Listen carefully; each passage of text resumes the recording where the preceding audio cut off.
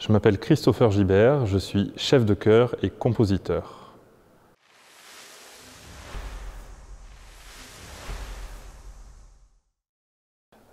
C'était sans doute euh, en famille, euh, une famille de musiciens où mon grand-père jouait de la clarinette, mon père du saxophone, on se retrouvait autour du piano et euh, c'était des moments qui ont été fondateurs en tout cas dans, dans ma vie musicale et qui me nourrissent encore aujourd'hui.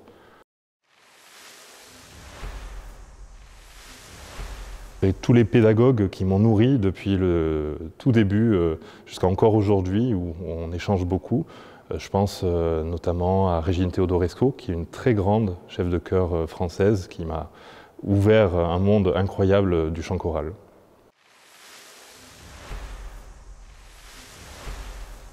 Alors, je pense pour la musique baroque, ça serait Bach et Marc-Antoine Charpentier.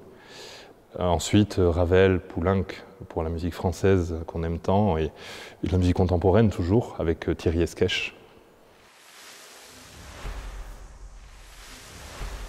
La messe en de Bach, c'est une œuvre totale de l'époque baroque, une œuvre absolue, euh, qui est un monument de la musique, euh, que je n'ai pas encore dirigé d'ailleurs. Il va falloir remédier à ça.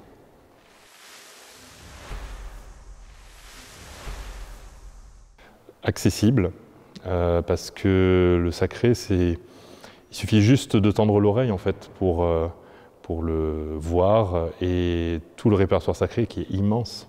Euh, n'attend que ça. donc il suffit juste d'ouvrir les yeux et d'écouter.